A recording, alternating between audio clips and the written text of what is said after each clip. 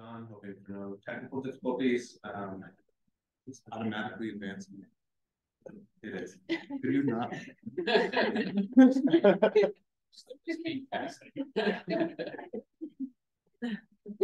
How do you, how do I stop it from advancing?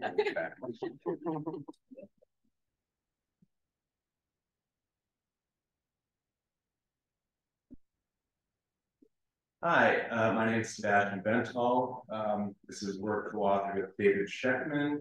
Uh, David's at Northwestern Pritzker School of Law, NYU School of Law, and International Computer Science Institute. And it's advancing automatically again. This is hilarious. um, I'm going to talk while we uh, do technical stuff as we're uh, before lunch. So um, our plan for this paper is to offer guidance about how to design and audit artificially intelligent systems for compliance with fiduciary duties. Uh, I'm going to talk about what fiduciary duty is and what we mean by AI and why you might want to have fiduciary AI before talking about our plan to guide the design and auditing of it, which involves six steps, uh, the articulation of the context of the system, the identification of the principals, the assessment of best interests of the principals, the aggregation of those interests, and lastly, ensuring the loyalty of the system to those interests and having uh, care informed by contextual expertise. So um, why are we talking about this?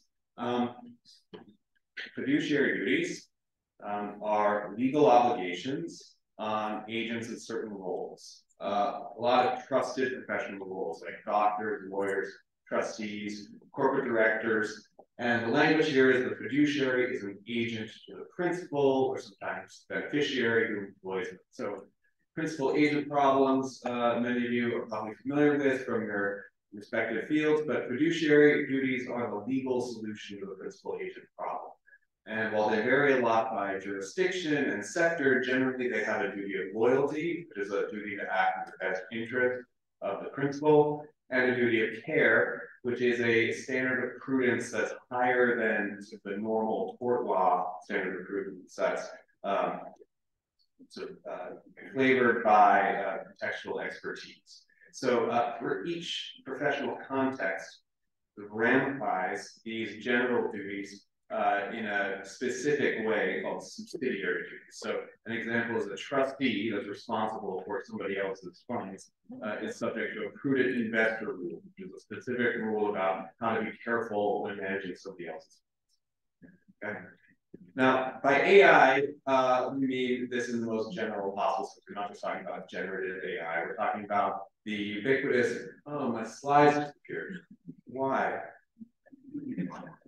We're talking about so ubiquitous uh, automated user interfaces, whether they're apps or uh, websites or vehicles or voice assistants, and the automated business operations and interactions that come behind those, which are often trained on user data or um, otherwise uh, using foundation models and like. It's all AI this talk.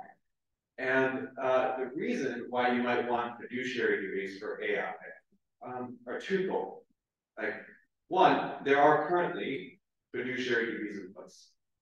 There are fiduciary laws or uh, professional rules and sectors governed by this legal regime.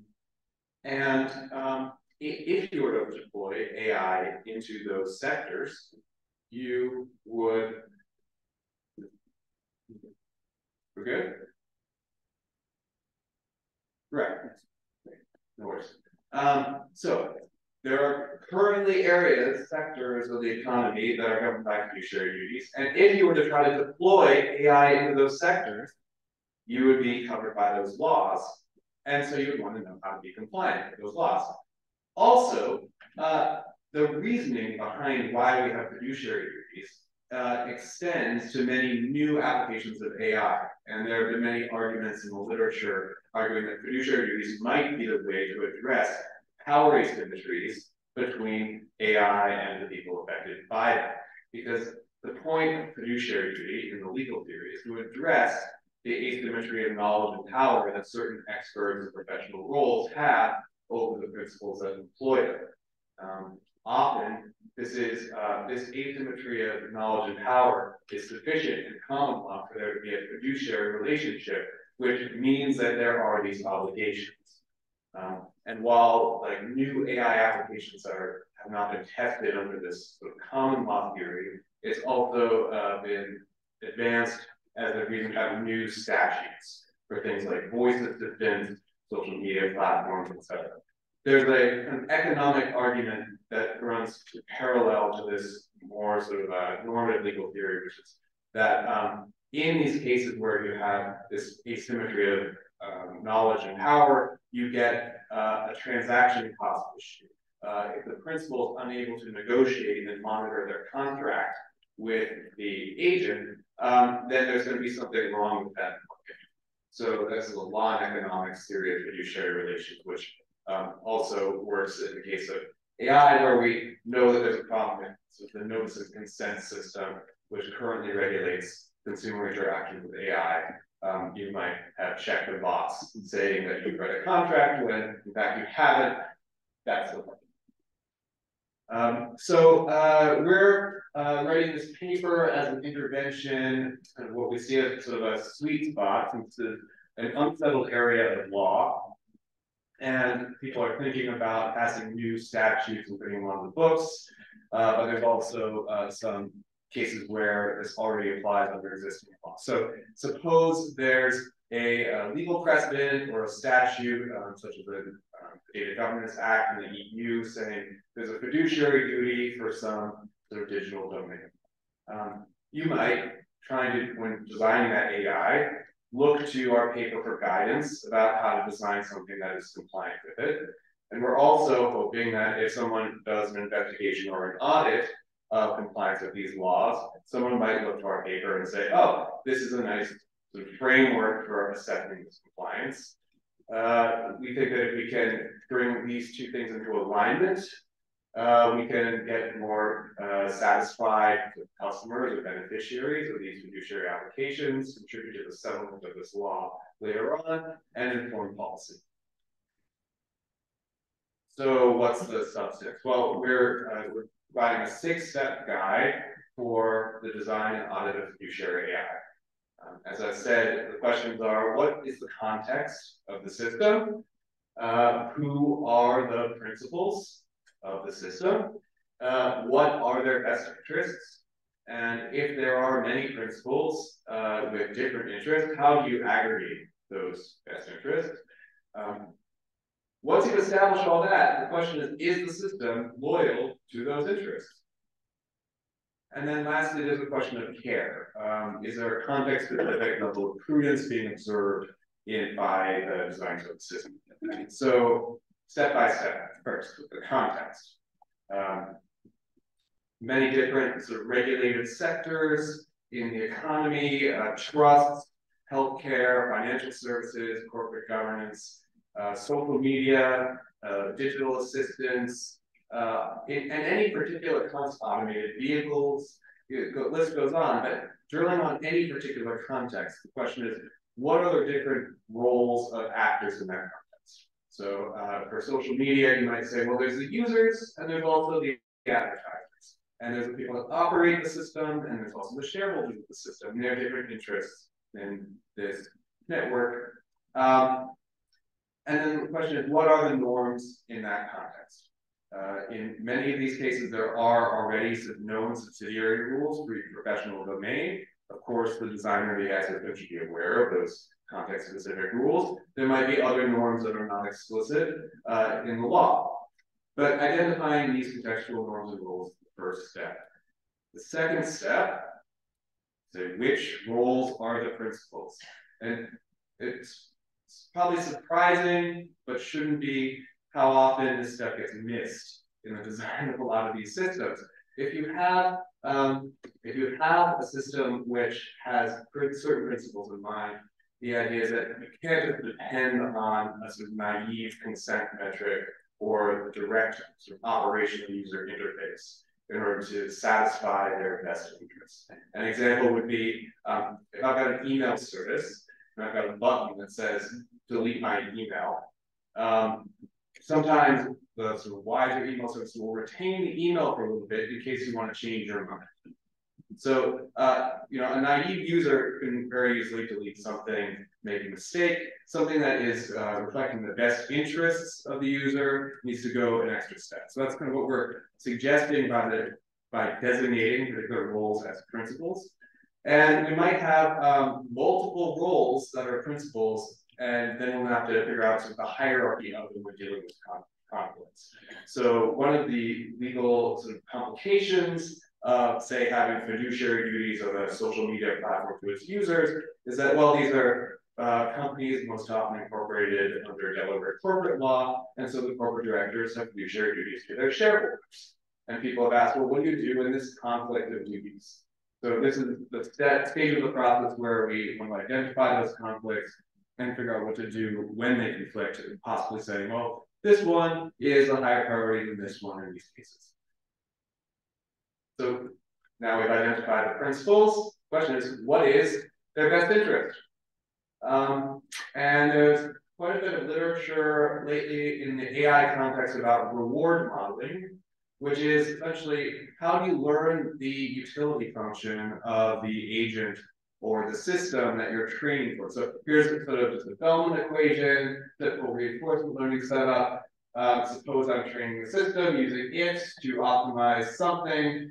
That R, that reward model, is uh, how do I make sure that that reflects the interest of the principal? And there's uh, many different data sources and techniques being explored in the literature on this now. You could just ask people what they think. And there's clever ways of organizing people's information uh, to ask and figure out what they what um, what their preferences are. You can learn from their behavior by observing it using inverse reinforcement learning. You could measure their well-being correctly. But where the law winds up settling on this issue is something like a reasonable person standard, where there's a generalized understanding of what most people need in a particular setting. So uh, we're not advocating for any one of these techniques. We're advocating for a combination of these techniques, maybe getting towards some sort of legal consensus or even a foundation model for user rewards. Okay? Um, aggregation.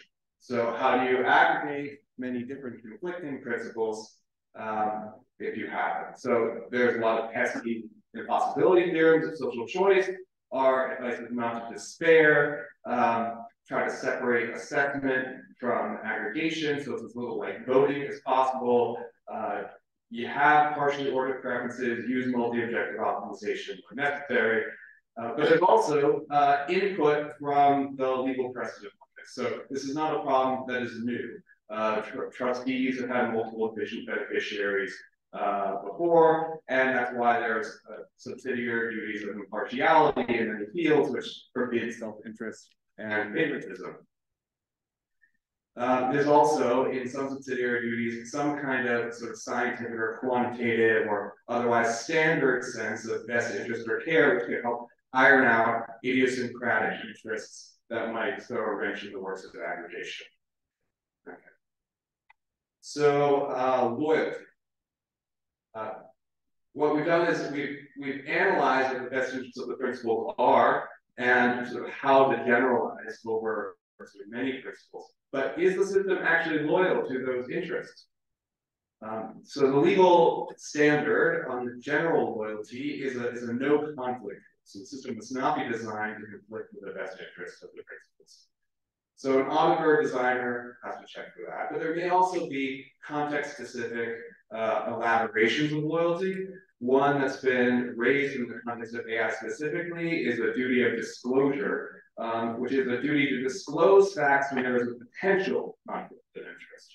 So you might expect that some of this training process or aggregation process might be noisy, you might have room for error. Uh, a duty of disclosure says, well, when there's a potential conflict of interest, you have to notify the principals, possibly giving them an opportunity to contest the result. And lastly, we have uh, the duty of care and so the application of care to AI. So this is a standard improvement of prudence informed by expertise and professionalism. that's sort of domain specific. And this is where I think we can uh, have something like a prudent AI rule that incorporates uh, many of the known AI risks that are already in the literature, things like negative side effects, reward hacking, distributional bias, and foundation models might be bundled into a prudent AI rule that at, for AI that gets deployed in many different domains. That's the talk. Uh, we're trying to provide practical guidance for future applications. Uh, we're also trying to motivate and structure future research by tracking AI risk research into um, categories of legal liability, hopefully sharpening uh, both fields in their discourse around uh, what AI regulation ought to be and how to meet those demands, hopefully to inform AI policy in the future. I'm happy to take any questions uh, by email or at lunch um, or any other. Thanks.